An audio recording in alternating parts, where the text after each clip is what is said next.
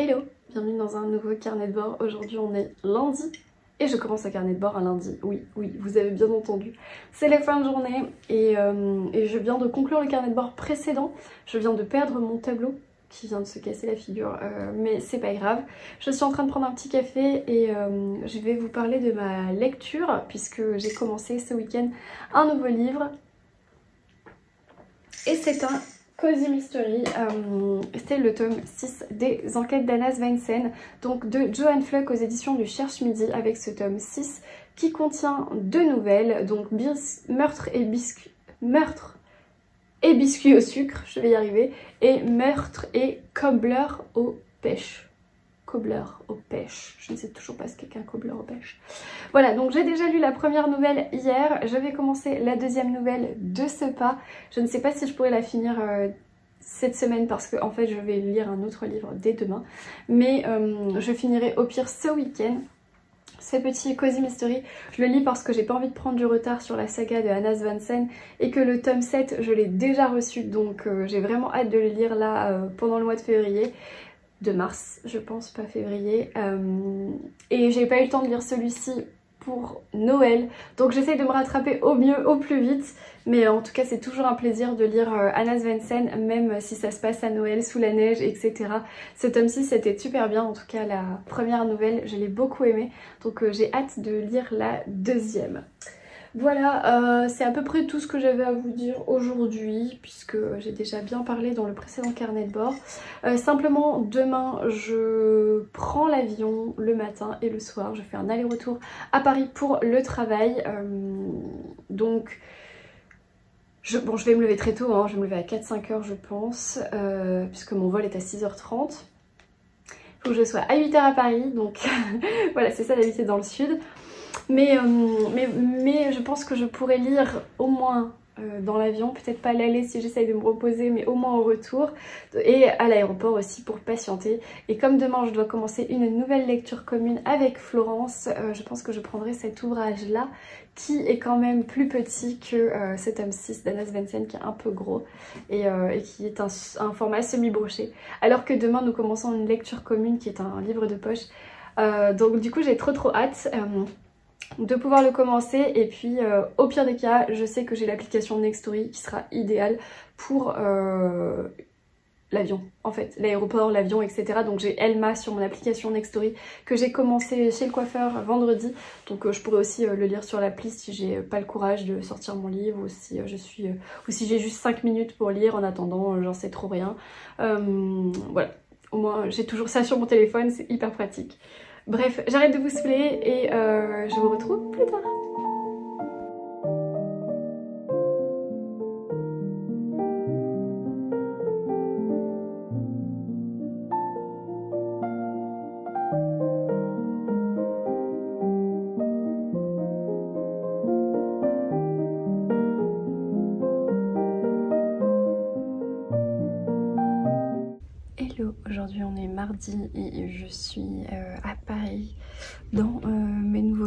Qui sont vides et sales.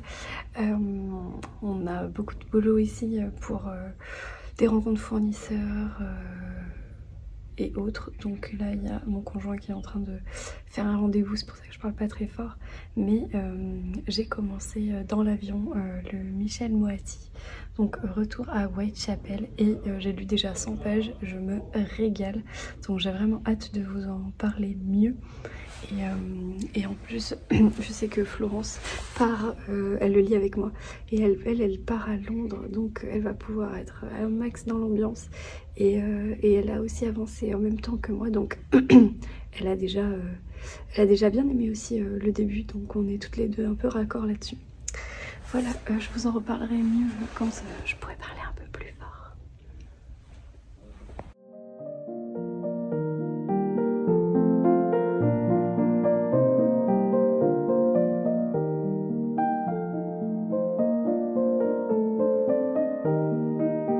Aujourd'hui on est mercredi et euh, j'étais sur la production d'eucalyptus. Là, je dois partir parce que j'ai un rendez-vous avec la, la fleuriste qui va décorer mon mariage. Donc, euh, j'ai bien bossé aujourd'hui. Il fait pas très beau là. J'ai bien bossé euh, à l'entrepôt ce matin et cet après-midi. Là, il est milieu d'après-midi. Je dois malheureusement partir, je ne peux pas tout faire. Bien sûr, je n'ai plus de voiture, donc je dois emprunter la voiture à Mémé et c'est la course. Heureusement, tout le monde habite pas loin, sinon on s'en sortirait pas. Il y a plein de mimosas encore ici. Voilà, bref, sinon euh, j'ai trop envie de vous parler de ma nouvelle lecture de euh, Retour à Whitechapel. C'est super bien, j'ai lu 180 pages hier dans l'avion. Euh, j'ai fait un aller-retour à Paris, donc j'ai pris l'avion et j'ai lu 180 pages, c'était vraiment trop trop bien. Donc j'ai hâte de vous en parler. Je suis quasiment à la moitié du roman, ce qui fait 400 et quelques pages. Et c'est très très intéressant, très instructif. C'est très bien écrit aussi, il y a beaucoup de recherches. Franchement, Michel Moati, c'est mon premier roman de lui, mais je suis sûre que je vais beaucoup aimer.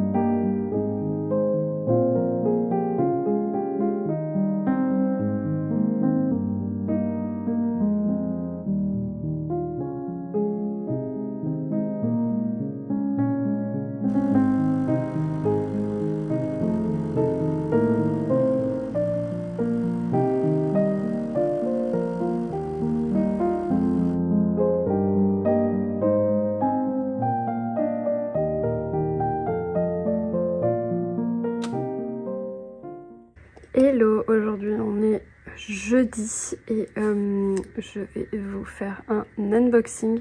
J'ai reçu des paquets hier et avant-hier, mais pour l'instant je me fais un petit thé au jasmin et euh, je vais vous parler aussi de mon avancée de euh, retour à Whitechapel. Donc hier j'ai lu jusqu'à la page 227, il me reste donc encore euh, une petite moitié à lire, mais franchement j'aime beaucoup beaucoup, donc euh, je vais vous en reparler.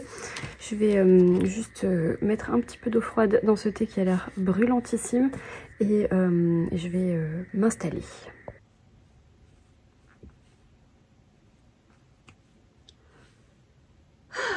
J'espère que vous allez bien. Moi ça va. On est jeudi entre midi et deux je fais une petite euh, séance de sport euh, très rapide, euh, un quart d'heure. Ce midi, j'ai mangé des petits muffins avocat viande de grison, très bon. Et je me fais un thé au jasmin dans mon mug d'amen qui ne me quitte plus. J'aime trop, je le trouve trop mignon. par quoi je commence par, commence par ça. Donc pour rappel, en fait, j'avais Attendez, je remets mon marque-page rose de chez Cube que j'ai reçu. Qui est trop joli d'ailleurs. Qui va hyper bien avec cette lecture. Donc pour rappel, j'ai commencé la semaine avec la première nouvelle du tome 6 des enquêtes d'Anna Svensson, donc de Noël. J'ai lu la première nouvelle, tac, je n'ai pas lu la deuxième, je l'ai pas du tout commencé, je l'ai pas lu. Euh, en fait, euh, quand euh, j'ai pris la décision lundi, de euh, commencer euh, celui-ci avant la lecture commune que j'avais avec Flo. J'ai bien fait parce qu'en fait j'ai lu qu'une quarantaine de pages donc j'ai pas pris beaucoup d'avance vraiment sur euh, la lecture commune. puis j'ai pris ce livre à Paris dans, dans mon avion, voilà vous avez suivi, je suis montée à Paris pour le travail. donc du coup c'était très très bien, j'ai pu avancer un petit peu. Je suis donc page 227 sur 413. Donc il me reste 190 pages quasiment. Euh, je ne sais pas quand est-ce que je vais le finir, peut-être en fin de semaine. Mais je vais déjà vous en parler. Donc on est ici... Euh, Retour à Whitechapel de euh, Michel Moati aux, éditions 10-18. Déjà j'aime beaucoup cette couverture un peu énigmatique londonienne. C'est évidemment ici le sujet de Jack l'Éventreur qu'aborde Michel Moati. On va suivre euh, donc deux, enfin, on va suivre deux temporalités. On va suivre Amelia Pritlow, qui est une infirmière, une infirmière à Londres dans les années 1940, qui découvre que l'une des victimes de Jack l'Éventreur est sa mère. Euh, elle l'a su super tard en fait que c'était sa mère.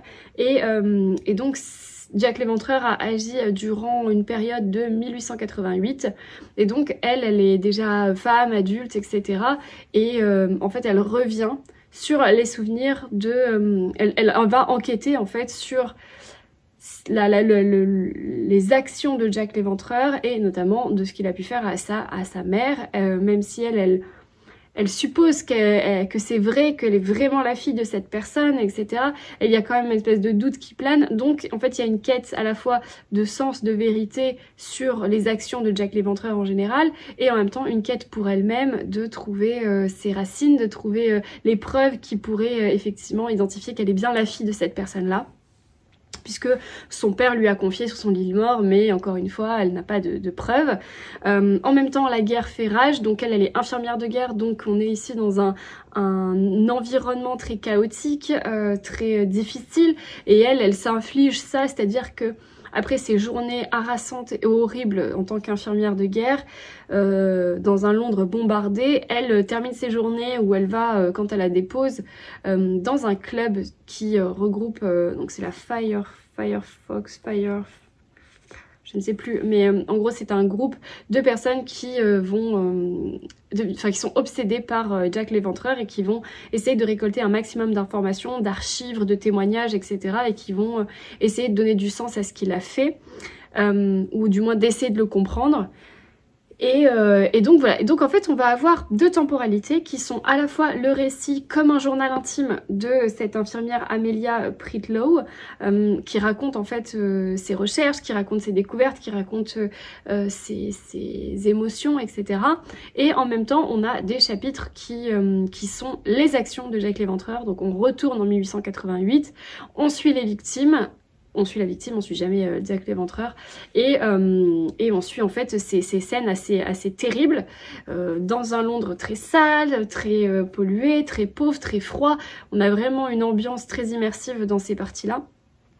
Et je trouve hyper intéressant, hyper bien écrit, très recherché de la part de Michel Moati. On sent vraiment que c'est un sujet qu'il a poncé, qu'il a recherché. Euh, il se met lui-même dans la peau du coup de ces, de ces femmes, des victimes en fait de Jack l'Éventreur, puisque quand il raconte ces scènes-là, il se met à leur place, il nous les raconte. Et euh, je trouve que ces scènes-là sont très puissantes, voire violentes, euh, puisque il y a force de détail et effectivement c'est des, des, actions qui ont été terribles, puisqu'il a assassiné des femmes de manière euh, c'est des boucheries quoi. Donc euh, c'est c'est parfois un peu où tu sens que ton estomac se contracte un petit peu parce que c'est pas franchement agréable à lire. Ces scènes-là, c'est très choc, c'est très brut. Mais d'un autre côté, c'est vrai. Donc l'immersion, elle est, elle est complète euh, sur ces parties-là. Et puis Amelia Pritlow, on s'attache à ce personnage qui devient en fait le fil rouge du roman. Donc franchement, euh, bon point pour Michel Moati. Les chapitres sont assez courts, ils font 5-6 pages. On passe donc euh, du récit d'Amélia euh, au récit d'une des victimes, etc. Là où j'en suis, j'ai dépassé, je suis à la partie 2, la deuxième partie qui est retour. Donc retour, retour, voilà, on retourne en 1888 et je pense qu'on va être dans la partie vraiment de la maman en fait d'Amélia. Voilà où j'en suis et j'ai hâte de savoir la suite, j'ai hâte de savoir où ça va elle la mener, j'ai hâte de savoir euh, d'en savoir plus en fait sur euh, Jack l'éventreur qui est même si c'est un sujet terrible, euh, ça m'intéresse de manière culturelle. En fait, je connaissais très peu ce sujet-là. Mais donc si vous voulez en apprendre plus, si vous voulez être vraiment immergé dans un Londres très sale et très... c'est vraiment, vraiment pas très agréable, mais très vrai, je vous recommande Retour à Whitechapel. Je vous en parlerai bien sûr mieux quand j'aurai terminé, mais je peux déjà vous en parler bien. Qu'est-ce qu'il y a? Quelque chose à dire? Non. Bref. Donc, j'ai reçu euh, trois paquets et un courrier qui me vient des éditions 10-18. Donc ça, je pense que c'est le catalogue. J'avoue que je n'ai pas reçu le catalogue digital. Ou alors je ne l'ai pas, pas bien regardé. Donc, euh, ah bah dis donc. True Crime, les États-Unis racontés par leurs grandes affaires criminelles. Après Jack l'éventreur, euh, tu, tu voilà. Donc je vais regarder le catalogue. Ah, Stuart Turton, il, sort un nouveau roman, L'étrange traversée de Sardam. Ceci dit, j'ai toujours pas lu Les Sept morts d'Evelyn Arcastle, donc. Bref, euh, ben, je vais regarder ça tranquillement. Tac, c'est le catalogue donc de sortie des éditions 10-18 de mars-avril. pour le printemps, je vais regarder ça tranquillement. Ensuite, j'ai reçu trois paquets. Euh, un petit paquet qui me vient de chez Editis.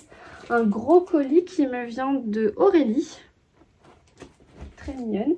Et euh, un paquet grand aussi qui me vient de chez XO. Alors, je pense que c'est une bande dessinée. La bande dessinée ne veut pas sortir.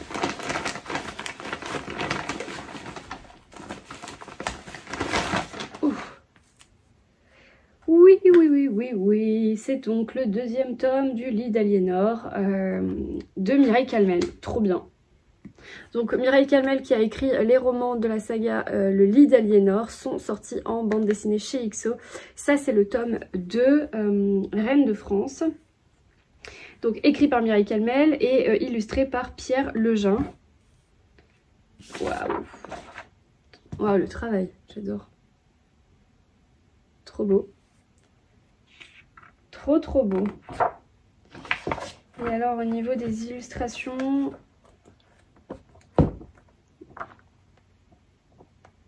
un beau travail. Hein.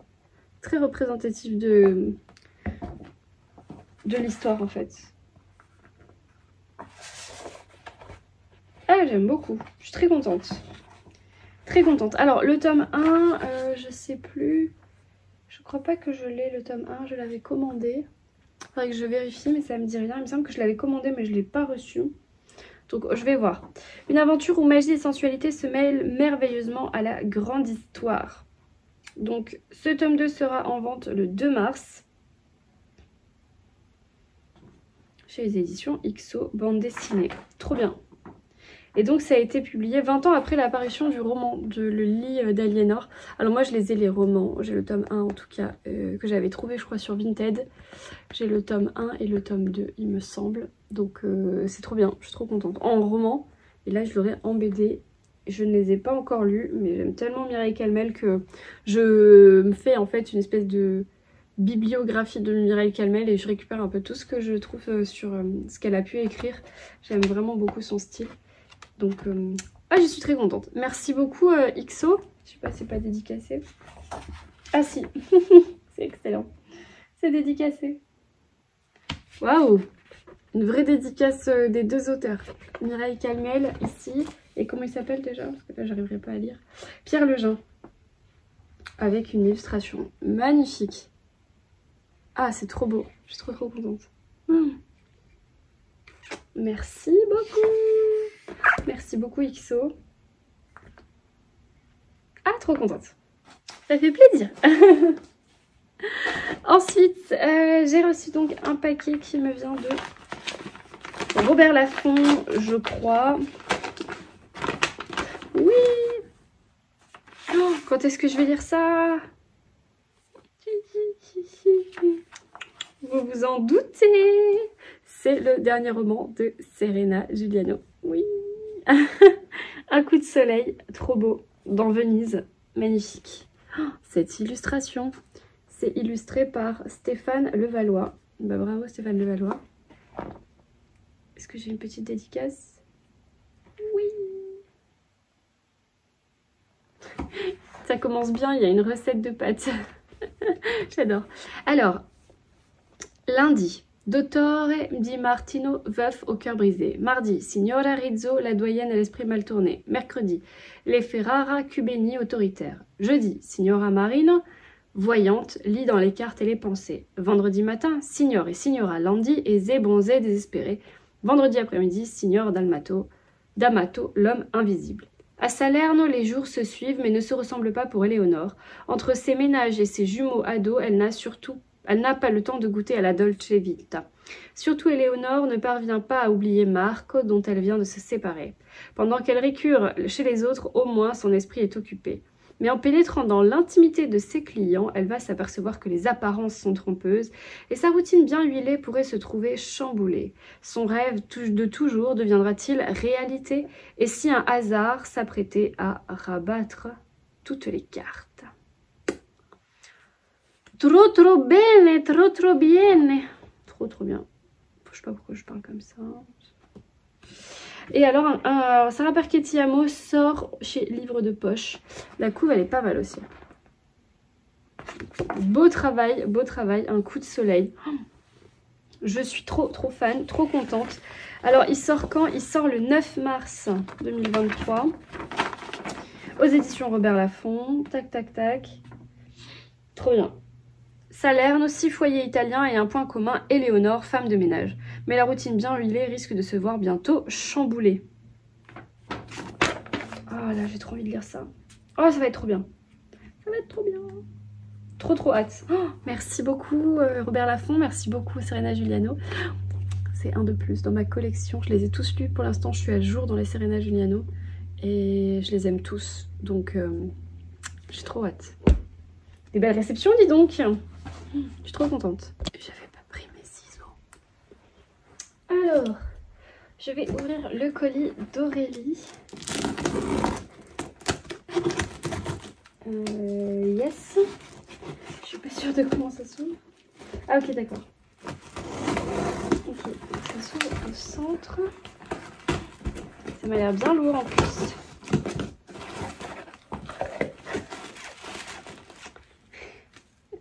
Ça commence bien. Ça commence bien. Merci. Trop mignonne. Merci beaucoup. Je suis trop contente. Alors. Oh.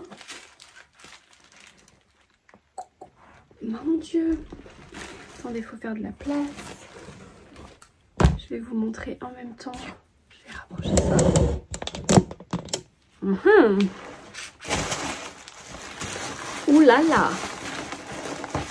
alors déjà, ça c'est un bijou. Oh, c'est magnifique. Kitchen Cupboard. Oh, ça c'est magnifique. C'est un marque-page sublime qui vient de Sally Swanell en Angleterre. c'est pas là. Trop beau. Donc derrière vous avez les infos. Oh, il est magnifique, il est beau. Elle ira tellement bien avec Anna Svensson. Magnifique. Ah La la la la Petit jasmin, évidemment, évidemment. Alors, je sais pas par quoi commencer. Bon, parce que je vois des petits pruneaux d'Agen. Ça, c'est du sud-ouest, je pense. Fourré à la crème de pruneau. Ah, j'ai jamais goûté ça. Mmm. Miam, miam, miam. Trop bon. Trop bon. Que c'est ça Des cannelés de Bordeaux. On dirait des caramels. Cannelés de Bordeaux. La toque cuivrée. Oh, attends, goûter ça.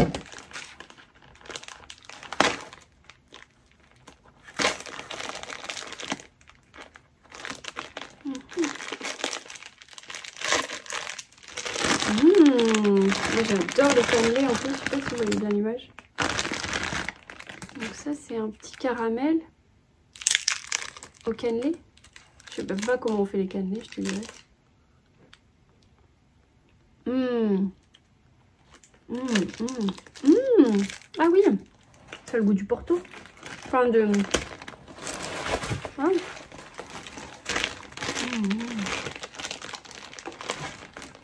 ça a le goût de, du cannelé. Je sais pas quel alcool il y a dedans, mais ça le goût de ça. Du Porto, on dirait du Porto.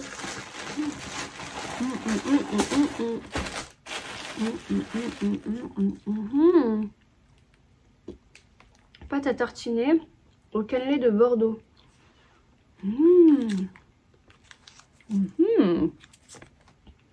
Alors ça, je ne savais même pas que ça existait. Alors ça a l'air plutôt fluide, on dirait comme Mmh, comme une confiture en fait. Mmh. Miam, miam, miam. Ah bah dis donc, c'est un, mmh, un, colis... Euh, ah, encore un jasmin. C'est un colis euh, gourmand ça. on n'oublie rien. Qu'est-ce que c'est que ça? Un dessert à jeûner. Qu'est-ce que c'est? Fabriqué dans le sud-ouest, d'accord? À consommer tel quel en dessert ou en accompagnement de celui-ci. Un dessert à jeûner. Ingrédients, pruneaux, pommes, sucre, eau. Ah, c'est un peu comme une... Ah oui, d'accord, c'est un peu comme une compote. Mmh. Oh, ça doit être trop bon, ça. Oh là. Oh, ça sent les, desserts, enfin les, les goûters gourmands de d'hiver, là, où tu sais. Je sens que je vais faire des crêpes ou un truc comme ça pour mettre ça dessus, goûter ça avec, avec du fromage blanc, ça va être très bon ça. Et eh bah dis donc, je suis gâtée là. Mmh. avec du thé pour le goûter et un petit clin d'œil livresque. Trop trop mignonne, merci beaucoup Aurélie. En plus j'adore les cannelés donc ce sera très bien. J'aime beaucoup les pruneaux aussi donc... Euh, Top du top. Bon, bah disons que c'est un, bon, un beau colis euh, bien, euh, bien sucré. Vérifier que j'ai rien oublié. C'est bien emballé en plus. Trop mignonne. Merci Aurélie de me faire découvrir euh, les produits de ta région. c'est vrai que j'avais reçu déjà des, des, des, petites gourmandises plutôt de Belgique. Qu'est-ce que j'avais reçu Ouais, Belgique deux fois, Luxembourg aussi. Enfin voilà, et je connaissais pas trop ces, douceurs là, donc euh, je suis trop contente. Merci beaucoup. je suis bien gâtée encore une fois, donc euh, vous êtes trop mignonne. Merci, merci beaucoup. Euh, bah écoutez, je vais retourner travailler parce que bah, ma pause ma pause est terminée et puis et puis je vais me refaire un deuxième thé et puis je vais manger un autre petit cannelé de Bordeaux. C'était très très bon. Et je vous dis à plus.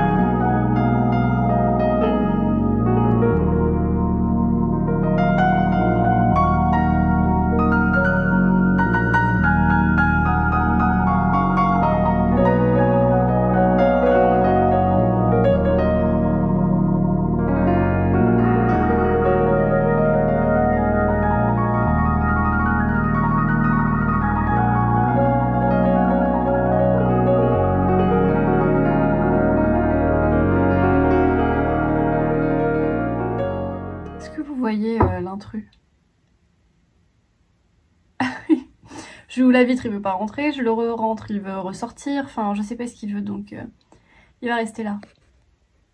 Ah, la tête qu'il fait. Ah monsieur Ronchon Qu'est-ce que tu veux?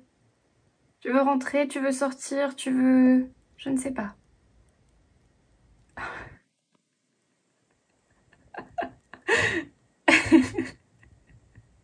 il est pas content parce qu'il pleut depuis ce matin.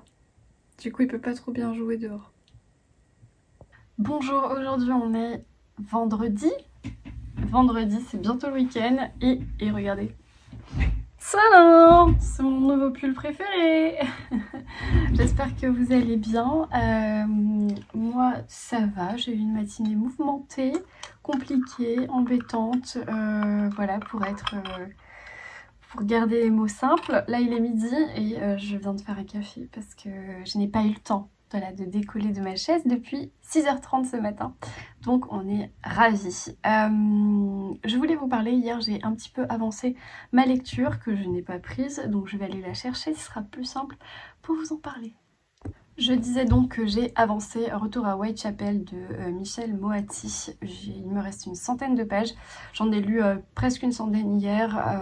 Du coup, en fait, on continue dans cette deuxième partie à en apprendre un peu plus sur le fameux meurtre de la maman de notre narratrice. Donc en fait, on va être vraiment focalisé sur ça.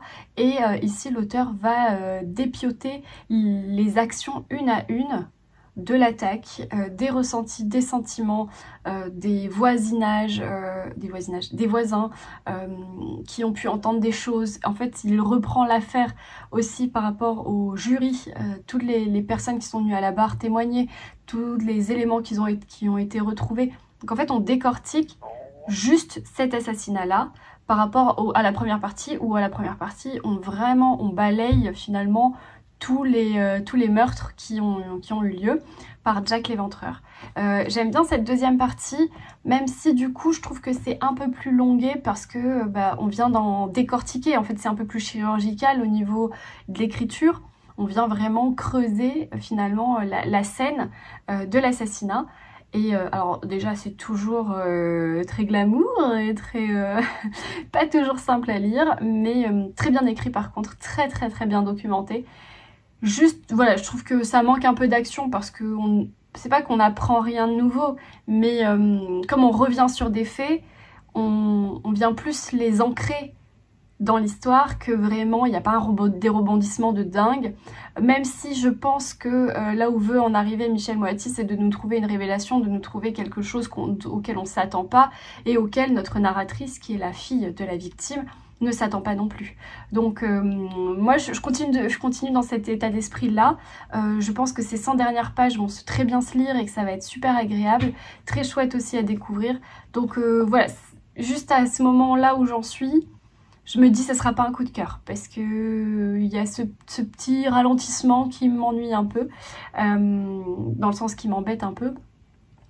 Voilà, donc pour, l'instant, c'est encore une très très bonne lecture. Euh, je vous donnerai mon avis final quand j'aurai terminé ces 100 dernières pages là, puisque bah, du coup, euh, il peut encore se passer plein de choses hein, en 100 pages.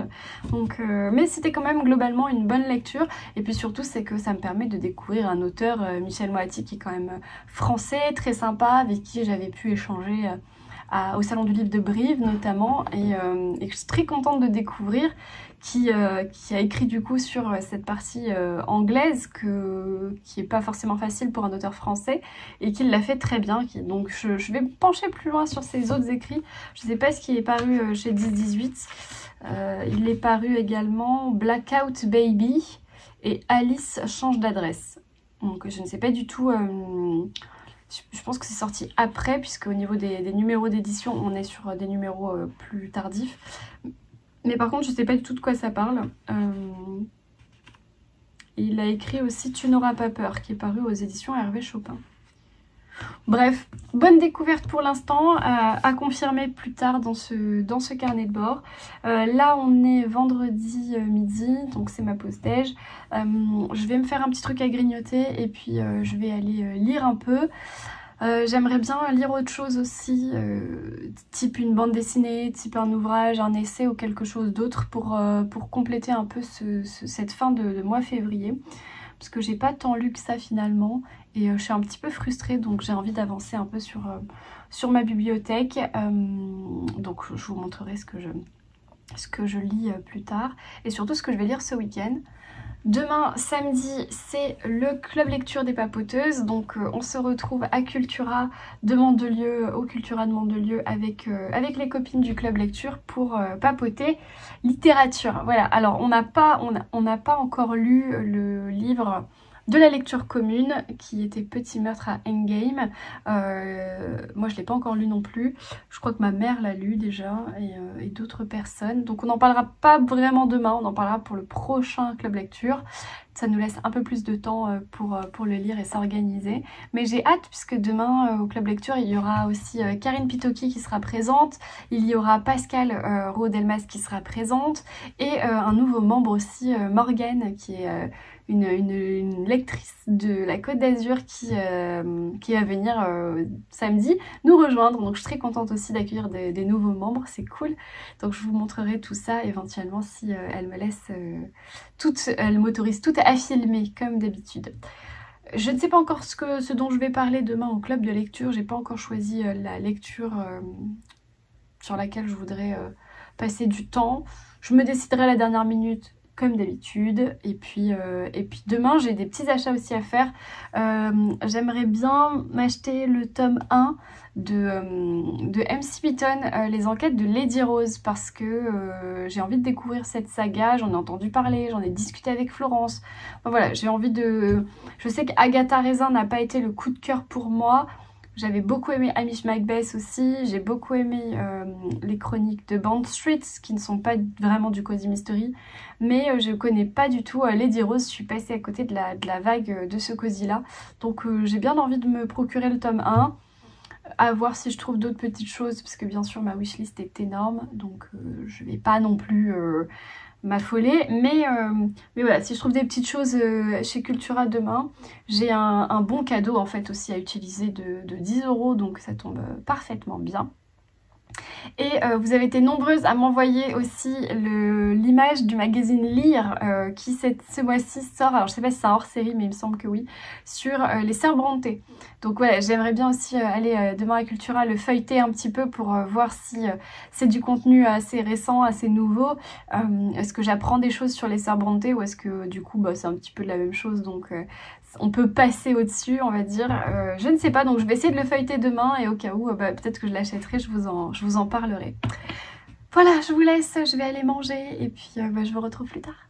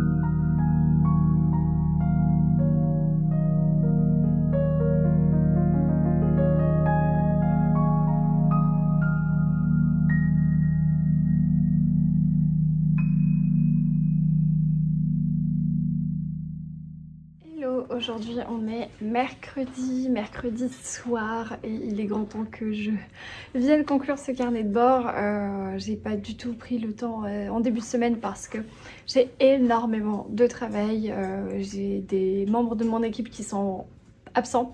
Donc du coup je suis un petit peu le couteau suisse de la boîte là et en plus d'une grosse période de, de fête puisque c'est la fête des grands-mères et bientôt la journée internationale des droits de la femme. Donc euh, dans le monde de la fleur, ce sont deux événements qui euh, sont parfois assez marqués. Donc euh, beaucoup de travail, des beaux projets aussi dans le boulot. Donc je suis sur tous les fronts avec le mariage également qui avance. Bref, j'ai pas beaucoup le temps de venir vous parler. Et quand j'ai un tout petit peu de temps, eh ben, j'en profite pour lire. Donc du coup, là voilà, je me pose, j'ai 20 minutes devant moi. Je vais vous parler un petit peu de tout ça.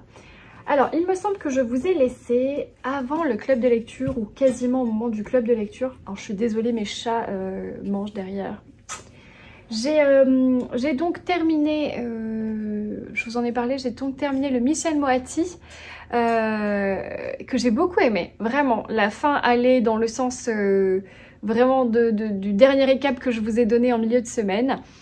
Euh, au moment où je vous ai dit oui ça commence à être un petit peu redondant, je vais peut-être m'ennuyer, eh bien en fait non pas du tout, ça se redynamise très vite. On a des révélations, on apprend des nouvelles choses. Donc euh, le Michel Moati finalement j'ai dévoré la fin et euh, il y a un twist, il y a un plot final où j'ai couru sur Google voir ce qu'il en était parce que j'étais assez bluffée par cette fin.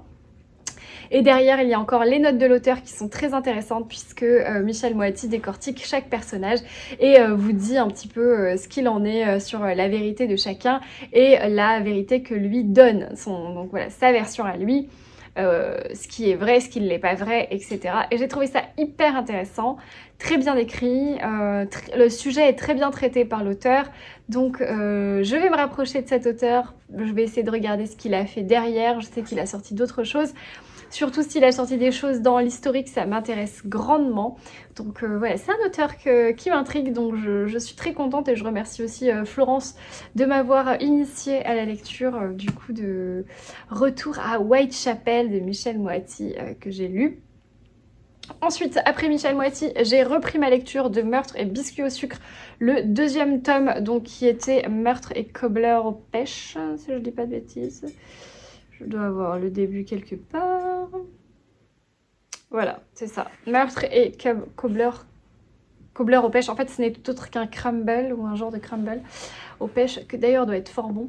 Euh, donc, le premier tome, j'avais lu la semaine dernière. Le deuxième tome, je l'ai lu ce week-end, enfin le week-end dernier. Et j'ai beaucoup, beaucoup aimé cette enquête. Euh, j'ai un peu plus J'ai préféré celle, euh, la première, celle de Noël, que j'avais pas du tout, dont, j'avais pas du tout vu venir euh, la fin. Celle-ci, je l'ai un peu plus vu venir, mais je passe un tellement bon moment. Euh, j'aime tellement l'ambiance de, de, de, ce, de ce café, le cookie jar. Là, en plus, on est sous la neige, c'est très cosy. Il fait froid, il fait tout le temps froid. Entre le froid et la faim, euh, quand vous lisez ce roman, c'est terrible parce que vous avez envie de grignoter, vous avez envie de manger des sucreries et vous avez froid. Donc il vous faut des plaids, il vous faut un thé, il vous faut vraiment... Il boit des litres de café. Alors moi j'aime bien le café donc ça va. J'avais envie de boire des cappuccinos à longueur de journée dans ce tome 6 et, euh, et, je suis très contente parce que du coup la dernière fois j'ai reçu le 7 donc je vais pouvoir le lire je sais pas quand, mais très bientôt en tout cas. Euh, j'aime toujours autant le personnage de Anna, Anna Svensson, qui, euh, qui, enquête, donc ici dans des Cozy Mystery.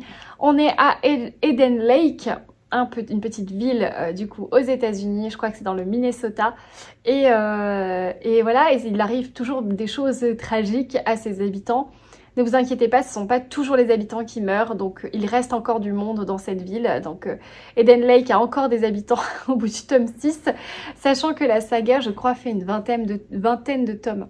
Un truc dans le genre.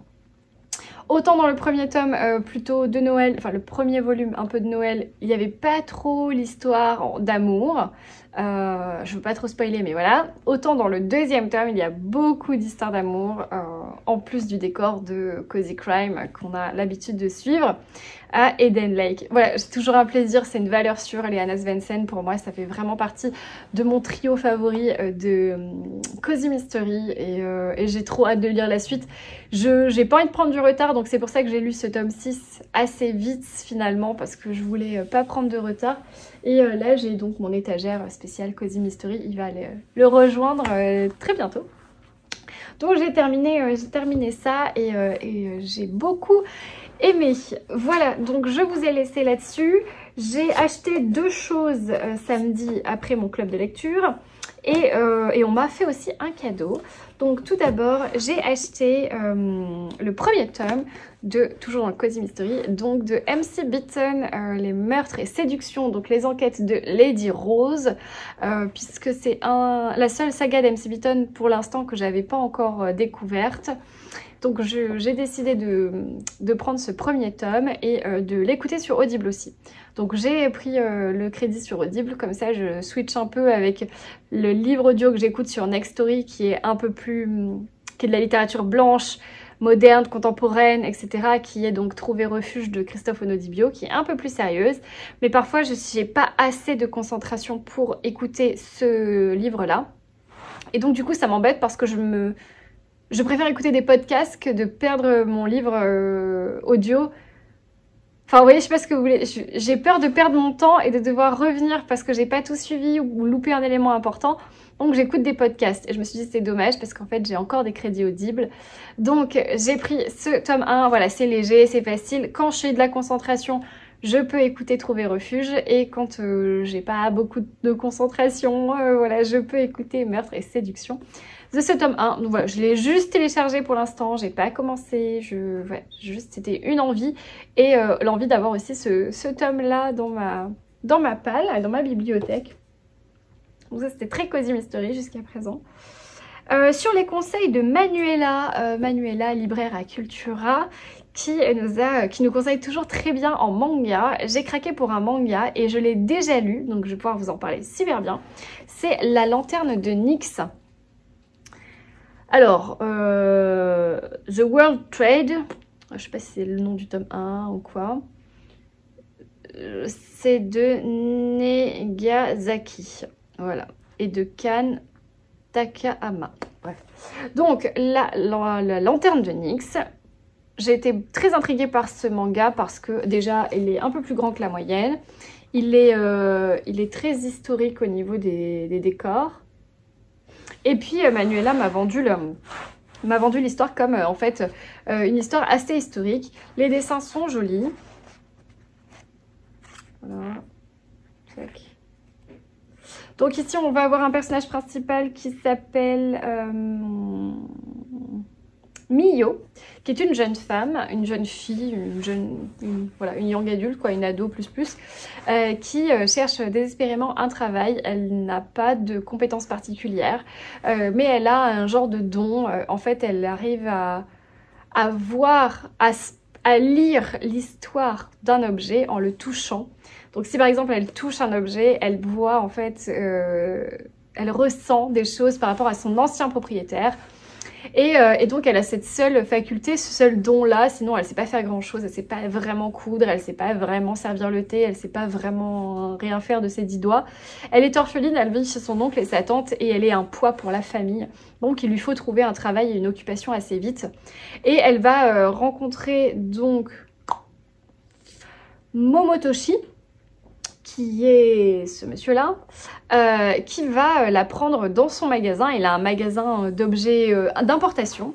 Euh, et, en fait, euh, il, va, il va lui apprendre un peu le métier et c'est très très drôle. Euh, du coup, puisque ce Momoshi, la Momotoshi, il, il voyage, il voyage à Paris, il voyage en Europe, il revient avec des objets et des objets qui ont toute une histoire et que les Japonais ne connaissent pas. Donc du coup, c'est très drôle parce qu'en en fait, il apporte des objets européens que, que nous, occidentaux, on connaît et on a le regard de, ces Japonais du coup vis-à-vis -vis de ces objets, c'est assez drôle. Et il y a une partie très historique où en fait Momotoshi vient éduquer finalement euh, cette petite Mio. Elle va éduquer aussi ses, euh, clients sur l'origine de l'objet. Donc nous, on en apprend aussi euh, pas mal. Ça se passe en 1878, donc c'est vrai que c'est en plein essor de de l'exposition universelle, des grands magasins parisiens, etc. Donc c'est vrai qu'on a ce, background historique qui est assez intéressant. Il y a beaucoup d'humour, les dessins sont très bien faits, euh, le niveau texte et, euh, et dessin c'est assez équilibré et puis euh, après on a des petites pages comme ça à chaque chapitre avec une explication sur l'objet dont il a été question dans le chapitre. C'est pas très long, c'est un petit manga. Il se lit super bien. Je me suis régalée. J'ai déjà hâte de m'acheter le tome 2. Euh, c'est des personnages très attachants et, euh, j'ai beaucoup aimé. Voilà, donc je vous le recommande si vous aimez les euh, mangas historiques qui se lisent vite, qui se lisent bien, qui sont légers, pas prises de tête, avec un peu d'humour. c'est très très bien. Voilà. Donc la lanterne de Nyx. Donc je remercie beaucoup Manuela pour de m'avoir influencé sur ce manga là. Du coup, ça faisait longtemps que j'avais pas lu de manga, donc ça m'a remise dans le bain. Euh, voilà, donc ça c'était mes deux petits achats, donc j'étais assez raisonnable, sachant que j'avais un chèque culture à utiliser. Donc du coup, j'étais très contente parce que du coup, c'était mon manga a été offert. Euh, donc j'ai acheté que ces deux choses-là. Sinon, on m'a fait un petit cadeau, donc euh, c'est Karine Karine Pitoki, hein, je ne me la présente plus, euh, qui était présente au Club Lecture avec euh, Pascal Roux-Delmas, donc deux autrices qui étaient présentes au Club Lecture des Papoteuses ce samedi, c'était très agréable. Euh, on a eu des super échanges, on a accueilli un nouveau membre aussi, Morgane, qui nous venait d'Antibes, d'Antibes, pardon, donc les lectures de Morgane. Et, et c'était très chouette, c'était un Club Lecture assez dynamique et assez différent, donc j'ai passé un très bon moment. Avec mes papoteuses, comme je les appelle, mes membres de papotage livresque. Et, euh, Karine m'a fait un cadeau puisqu'elle nous a parlé d'un livre et en fait elle me l'a offert. Euh, il s'agit de Origami Blue de Sarah Klein qui est paru en grand format aux éditions Charleston après avoir remporté le prix du livre romantique et qui vient d'être publié chez Pocket. Moi je suis assez fan de cette couverture euh, de chez Pocket, juste dommage pour ce bandeau qui est pas très élégant, mais j'aime beaucoup ce, cette, cette, couverture. Et alors de quoi ça parle? En fait euh, c'est une jeune femme qui s'appelle Florence qui a créé sa boutique d'origami. Euh, elle, elle, vend donc des objets euh, en papier plié, etc. Et, euh, et je crois que... euh, jusqu'à ce que le monde réel, il va se passer quelque chose en fait, jusqu'à ce que le monde réel la rattrape et dérègle toute cette harmonie quand elle embauche Raphaël. Donc elle va embaucher un jeune garçon qui va lui apprendre beaucoup de choses, qui va un peu chambouler son quotidien. Et, euh, et je crois qu'il va y avoir aussi une question de voyage euh, un peu partout, et etc. Et peut-être de romance, puisque c'est quand même euh, le prix du livre romantique. Mais, euh, mais voilà, ça me disait bien, je, pense que c'est une bonne douceur, c'est quelque chose de touchant aussi. Elle avait l'air de, nous dire que c'était assez émouvant. Donc euh, j'ai hâte de le lire, je suis très intriguée, j'avoue. Je ne l'ai pas tellement vu passer celui-ci celui et c'est dommage, je pense. En tout cas, je vais essayer de me le lire assez vite, peut-être si j'arrive pendant mars au féminin. Il fait un peu plus de 200 pages, donc c'est pas impossible non plus. Ça va vraiment dépendre si je prends euh, du retard ou pas dans mon planning de lecture de mars, mais euh, ça pourrait être pas mal. Voilà, donc dites-moi si vous connaissez, si vous l'avez euh, peut-être déjà lu, si vous avez déjà entendu parler de celui-ci, Origami Blue de Sarah Klein. Voilà, je crois qu'on a fait le tour pour euh, aujourd'hui. Euh, J'espère que vous avez passé un bon moment en ma compagnie, que vous avez pu noter quelques lectures. Euh, Peut-être que vous avez déjà lu certains livres. N'hésitez pas à m'écrire tout ça en commentaire ou à me le dire sur Instagram. En attendant, moi je vous souhaite un très bon week-end, une belle semaine de merveilleuses lectures. Profitez bien et je vous dis ciao